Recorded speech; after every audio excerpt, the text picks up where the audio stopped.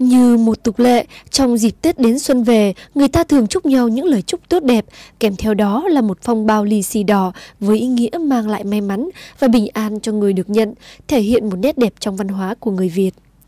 Lì xì đầu năm một tục lễ, đã có từ xa xưa, cũng không ai rõ là có từ bao giờ, nhưng qua năm tháng, nó vẫn gìn giữ và được lưu truyền cho đến ngày hôm nay. Hàng năm, Mỗi khi chuẩn bị đón Tết xuân sang thì người người, nhà nhà lại nô nức chuẩn bị một ít tiền lẻ để đi mừng tuổi trong dịp Tết. Trong 3 ngày mùng 1, mùng 2 và mùng 3, con cháu mừng tuổi ông bà, cha mẹ với ý nghĩa cầu mong sức khỏe, chúc ông bà, cha mẹ sống lâu trăm tuổi. Tiếp đó là ông bà, cha mẹ sẽ mừng tuổi lại con cháu, mong con cháu ngoan ngoãn, học giỏi, ra ngoài gặp nhiều điều may.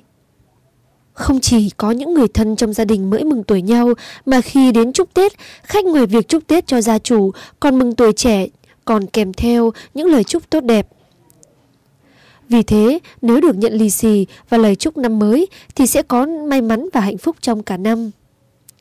Phong bao lì xì thường có màu đỏ vì người ta tin rằng màu đỏ là màu thịnh vượng sẽ đem lại may mắn và hạnh phúc, đồng thời Việc cho đi càng nhiều lì xì sẽ càng đem lại nhiều may mắn cho bản thân. Giá trị trong bao lì xì, tiền trong bao lì xì ít hay nhiều không quan trọng, nhưng thường có quan niệm là con số 8, vì số này phát âm gần giống như từ phát, nên sẽ mang lại may mắn, tài lộc, phát lộc cho người nhận.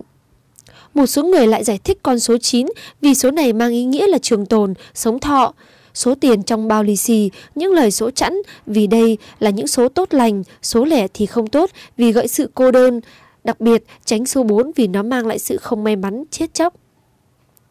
Phong bao lì xì màu đỏ thể hiện sự mạnh mẽ, bùng cháy, tốt lành mà một trong những nhân vật thể hiện cho sự may mắn. Sự tích về phong bao lì xì của người Trung Quốc Vào triều đại nhà Tống ở Trung Quốc, phong bao lì xì bắt đầu xuất hiện.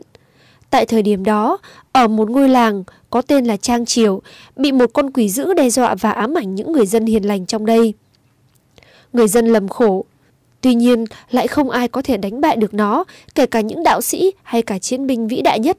Lạ thay một cậu bé với thanh kiếm phép thuật mạnh mẽ mà cậu ta được tổ tiên để lại, đã một mình chiến đấu chống lại quỷ dữ và cậu bé được hạ gục được nó. Dân làng mừng rỡ, đem tặng cậu bé một phong bao với nhiều tiền bên trong, vừa mang ý nghĩa cảm ơn, vừa mang lại ý nghĩa sự may mắn và che chở bảo vệ. Phong tục lì xì có lẽ đã được bắt đầu từ đó.